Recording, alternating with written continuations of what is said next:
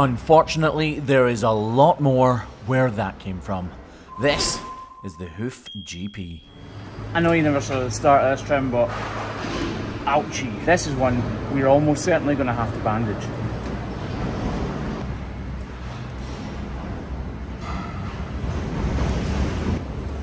It probably goes without saying, but this cow was struggling to walk because of what was going on inside this foot.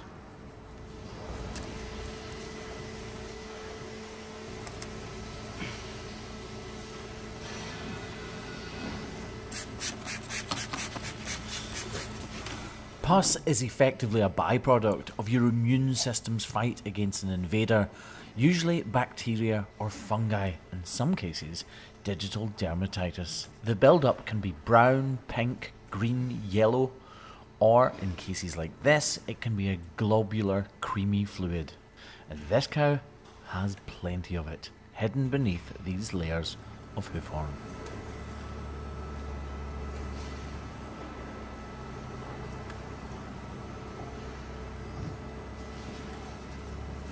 Right now, as I cut away at this wall horn, it's hard to see all of the congealed pus, but trust me, it's there.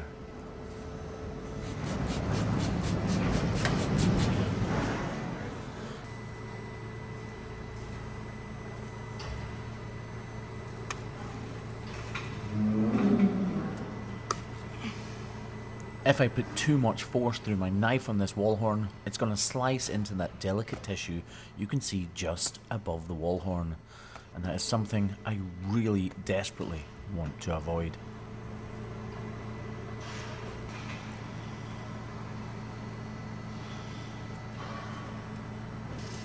I keep thinking I've got it all, to be honest. It's hard to know exactly when to stop in cases like this, and sometimes you think that you've got everything that needs to be gotten. But trust me, with this one, we're not quite there yet.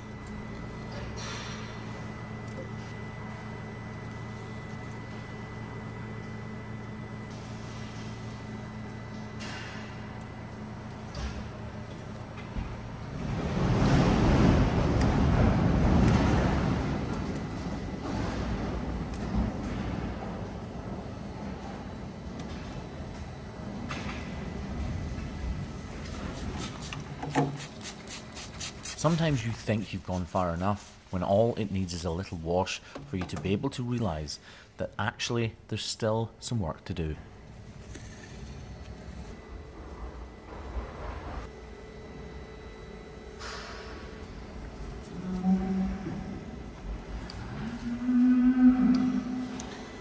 I filmed this to show the difference between that last one that we didn't bandage and this one that we were definitely going to need to bandage and she doesn't actually need bandage.